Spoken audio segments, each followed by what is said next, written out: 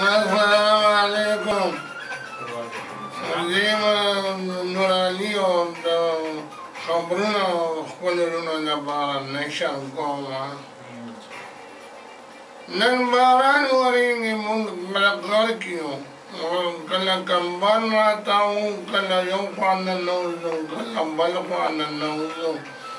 او یو درې ملګري بیماران دي داسې ډنډوز یې پرې خېږي لامبي نه کور ودان دي نو باجوړ کې شاوخوا ته خواست دی چې یو یو ګنټه پس لامبم دغه زنتیر کې د وید انجم زما سکه د ترورای زوی دی خو په ما تندر را پریوتی دی هغه د دوه ګنټې بس لامبي او نوښار کې شیرعلي وایي د هغه ته اجازت دی د روزانه لامبا خو صابون دې نه استعمالوي بیا ګرانیږي. چرته پوډر دی وګوری یا دغه مونږ نه مونږ پوډر یا نورونو د خواست کوم چې د خدای خاطر وکړي مونږ چا غر کړی او په خپل غرق شو ما د خپل یو ملګری راغلی وي ته راکاږه همداسې ګټ نو ما خدای شته په ځمکه راښکو هغه وې نه او په خوله راکاږه نو مونږ رسیه ګټو سکل هغه نه پس ډیر خراب شو نو دې رونو ته خواص دې چې مونږ هم د الله پیدا شو مونږ هم بندي ګانیان یو مونږ چرته اسپتال ته بوځي مونږ علاج وکړي ځکه چې مونږ هم بال بچدار یو بل ورځ مې زیرا جړلې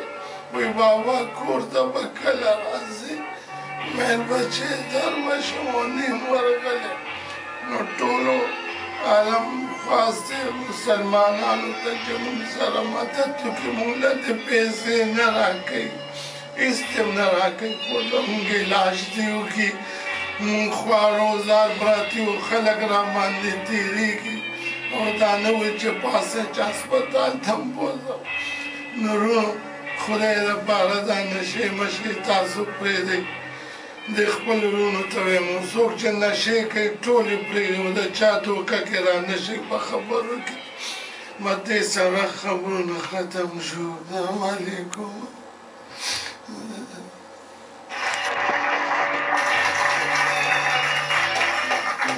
جی ډیر ښه جی ډیر ښه ډیر ښکلی او جی ګوره دا وی چې موږ هم انسانان یو او دغه شانتي لامبل پکار یو بیا ډیر په دغه شانتي وی چې صفائی او دغه چې نه لامبي نو دغه خو یو ډیر مرزونه پیدا کیږي هغه صرف یو کرونا نه ډیر مرزونه راځي نو دا غي د وجه وی چې لامبل ډیر پکاري